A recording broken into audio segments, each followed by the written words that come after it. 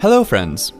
If you have created an event on Mozilla Thunderbird and want to invite friends to that event, then here are the steps. Right-click on the Mozilla Thunderbird shortcut icon and then click Open.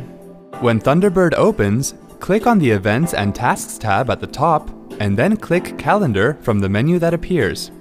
Click on the event to which you want to add attendees. When the Edit Event window opens, click on Invite Attendees from the top menu bar. When the Invite Attendees window opens, you can add attendees by adding their email address or name. Choose the desired slot and then click on OK to close the window. Click Save and Close to exit the Edit Event window. See, that wasn't hard at all. Thanks for watching.